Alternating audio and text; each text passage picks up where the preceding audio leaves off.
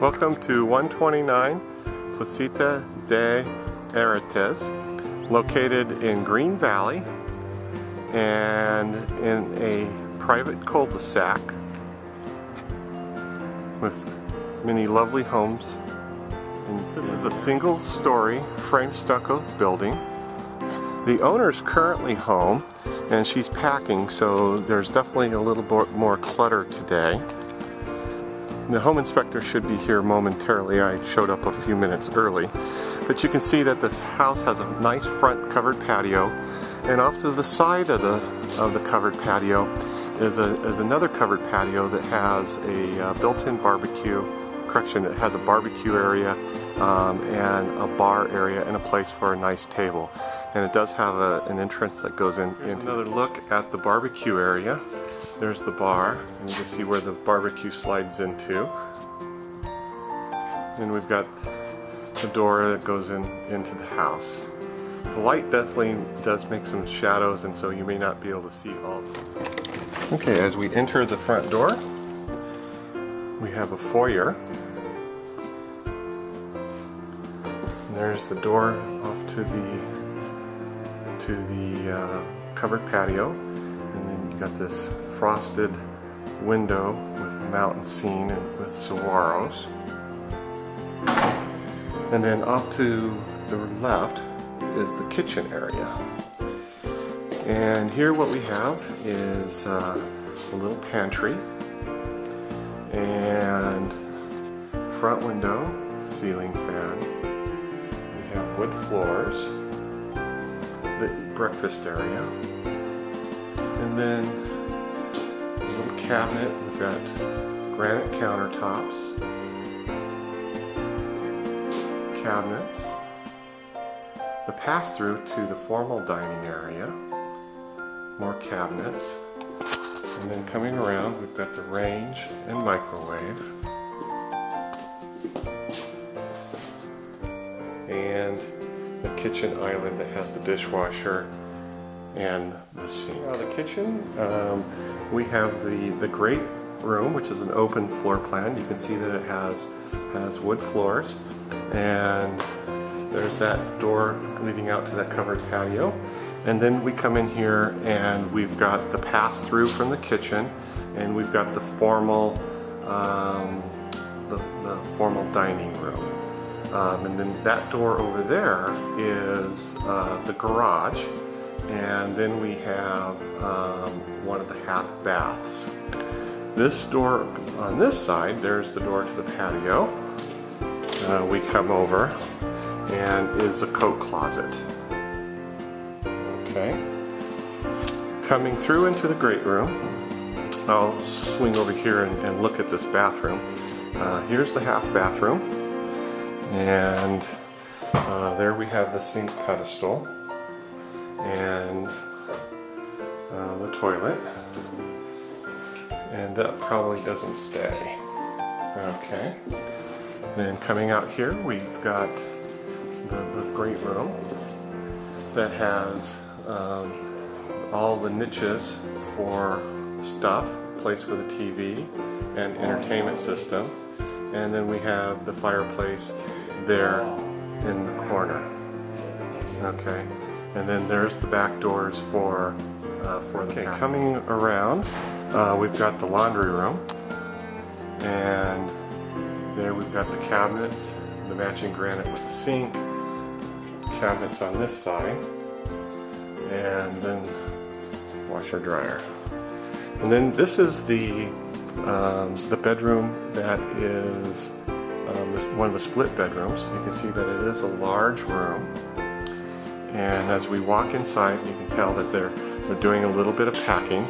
It does have a private access to the, um, the rear patio and as we come through you can see that it has a large um, closet walk-in with built-in shelves and place for hangers. And then coming across, don't want to get you seasick by my rapid movements of the, the video camera. Um, we've got the shower, toilet, cabinets, sink, obviously mirror, and that goes into this large uh, doorway, which would be uh, considered to be handicapped um, wide, so you'd be able to put in grab bars and that kind of stuff. Now we'll walk back through the, coming through the great room to the other side. What we have um, is one bedroom, and you can see, well, it's kind of bright. Um, I'll back up a little bit, see if I can get that. Wood floors, and this is probably the smallest of, of the three bedrooms, and you can see the closet right there. Coming out, we saw that door coming into the hallway. This is the air handling system here. And then we go down this hallway and off to the side we've got a big bookcase that's built in. And then we have bedroom and bedroom. We'll go into this bedroom next. Uh, this is another small one. So this would actually make four, four bedrooms, not three. I think I may have said three last time. And this one has also an ensuite that has matching granite, lights, and a shower. Okay. Coming out of that bedroom, by the bookcase, uh, we've got a uh, linen closet. And you can see that this linen closet has several shelves. This room also has a private access. This would be the master, okay, and it has a private access to the uh, to the covered patio also. Wood floors, and you can see that it has a ceiling fan, um, big window, some frosted windows over there near near near the bathroom. So we'll come over here, kind of look across the room again, and you can see. Um, the different areas. So right around this curved area is a walk-in closet and here um, obviously the non-attached cabinetry won't convey um, and we've got the closet area and then coming around here We've got a second walk-in closet, and again, anything that's not attached would not convey. Um, and there's the wood floors. Going into the master bath, okay. First of all, we see the, the dual vanity with dual sinks, mirror, medicine cabinet, and, and the lights going across. We've got a skylight making it very bright.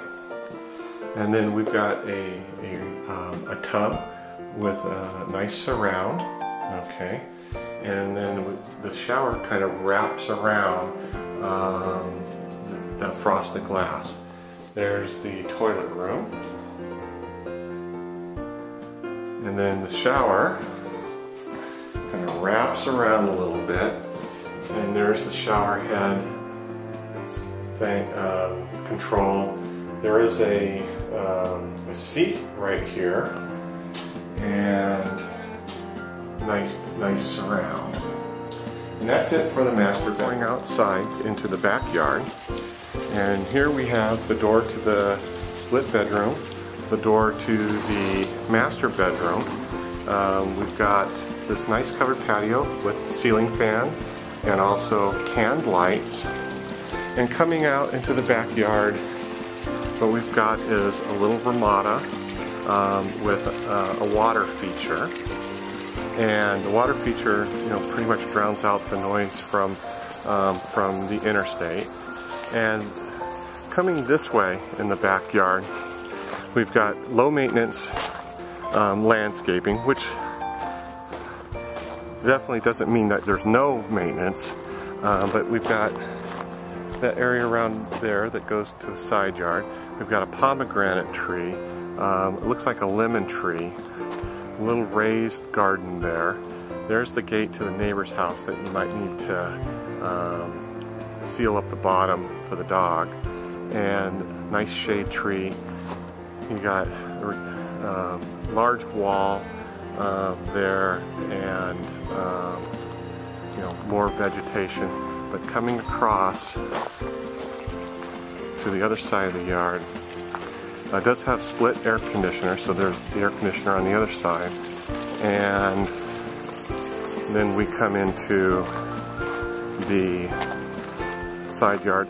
And then there's a, another little covered area, kind of a workshop or art uh, area off the garage, and which we'll go into there here shortly. And the side, the, the door to the the front. Okay, we're going to go into the garage from the house.